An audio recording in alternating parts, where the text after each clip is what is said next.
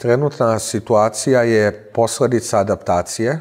Mi moramo da znamo da Ukrajinci sprovode ratnu tranziciju, kompletne prenamene, dakle na oružanja, ljudi se obučavaju u ratnim uslovima, neki u inostranstvu, treba sve to integrisati, inkorporirati, ima različitih strateških koncepcija kako je trebalo delovati, imate sjajne bitke za Sumi, bitka za Hostomelski aerodrom, bitka za Mariupolj, bitka i za Bahmut.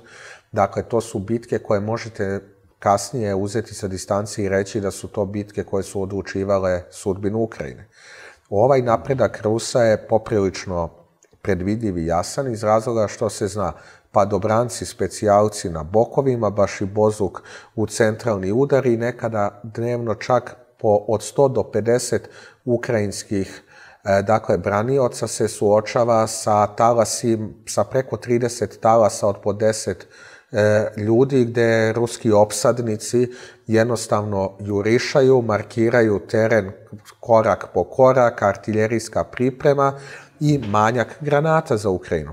Dakle, ali to ne znači da i Rusija ima granata u izobilju. Ovo je statistika, pisao sam tekst o tome.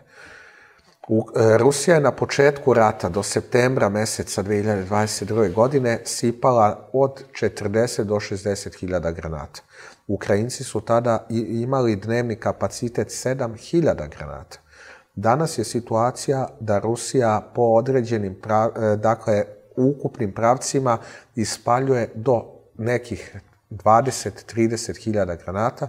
Ukrajinci ispaljuju od 3000 granata do 7000 granata. Kao što vidite, ruska količina granata opada, ukrajinska količina granata je mala i nikakva, strateški beznačajna, ali ipak konstantna. To je dakle situacija sa artiljerijskim duelima. Manja granata, pozicioni rat direktno košta onoga ko ima manjak resursa.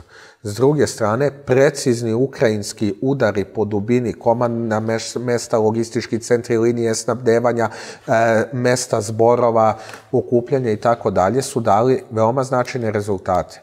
Jer e, moramo da se zapitamo, onolika ruska soldateska, dakle, koja je krenula, kako je moguće da je izgubila ta mašina taj pogon i tu par? Odgovor je isporuka Himarsa, isporuka Storm Shadowa, udari po Krimu, videli ste kakvi su, ti udari ne ugrožavaju samo napad na Ukrajinu, oni ugrožavaju rusko, lansiranje raketa Kalibar na reon Bliskog istoka. Mnogi udari po Siriji su vršeni upravo od Kaspijske flotile koja bi dakle prešla u Crno more i delovala po Bliskom istoku i po ciljevima. To je sada sve ugroženo.